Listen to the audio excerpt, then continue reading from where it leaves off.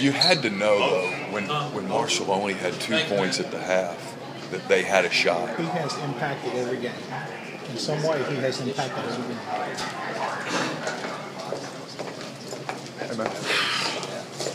Chancellor, how's your bracket? you know what? I, I picked that one. All right.